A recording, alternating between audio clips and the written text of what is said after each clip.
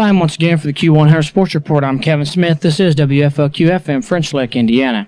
Taking a look once again at the NFL scores from Sunday. It was New Orleans 17, Minnesota 16, Chicago 13, San Francisco 3, the New York Jets 26, New England 3, Tampa Bay 33, Houston 24, Washington 28, Philadelphia 24, Cleveland 41, Baltimore 23, the Rams 41, Buffalo 17, the Raiders 27, the New York Giants 12. It was San Diego 31, Denver 7. The Chargers yesterday regained the services of Dan Fouts.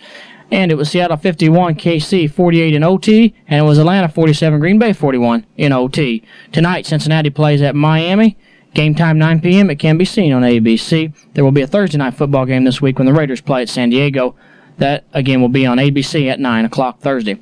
Tonight in the NBA, it's Portland and Kansas City. Winners from last night's action were Indiana, Boston, Cleveland, and the Los Angeles Lakers.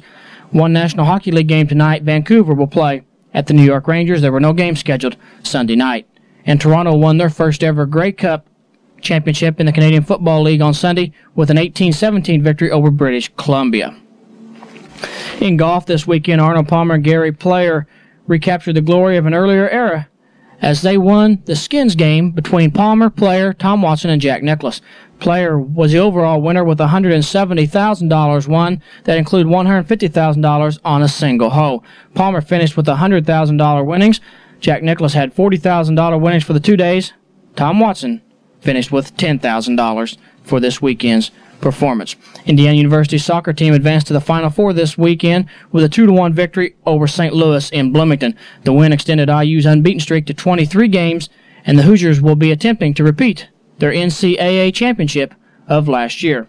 World heavyweight boxing champion Larry Holmes must defend his title against top-ranked contender Greg Page of Louisville or retire undefeated, according to World Boxing Council President Jose Sulaiman, who announced that on Sunday. Frazier last Friday made quick work of Marvis Frazier, the son of Joe Frazier, as he ended that round with just three seconds left in the first round.